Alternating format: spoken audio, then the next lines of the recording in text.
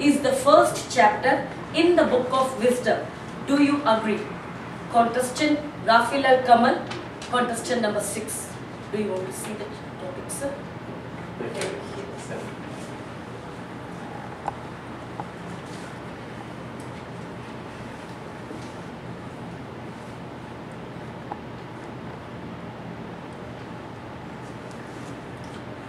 Honesty is the mother of the well-being, the good human being.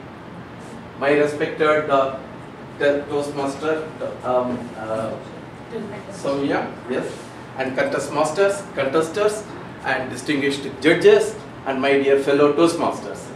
And it, it gives me immense pleasure to stand in front of you to talk about a very good topic, the honesty. The honest, honesty is the only thing that comes in every religion. If you take about it from, from, the, from the old uh, uh, good, from the current one, every religion preaches about being honest. Being honest to yourself and being honest to the religion you belong to and uh, being integrity, living with the integrity. I completely agree with the topic that honesty is the first step in, in being the good human being. And what is that honesty means to us? The honesty is the one that we believe in what we say.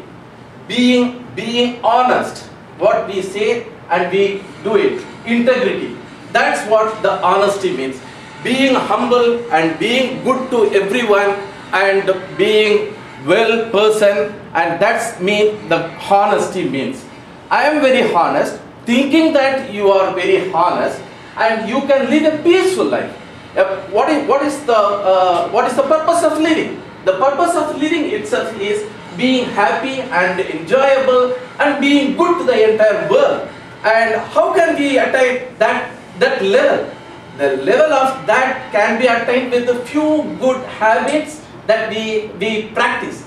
And among the good practice, among the good habits that we list, honesty stands number one.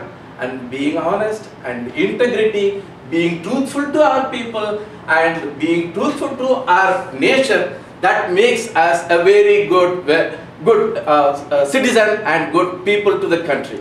And thank you very much for giving me a very good opportunity to stand in front of you. Thank you very much.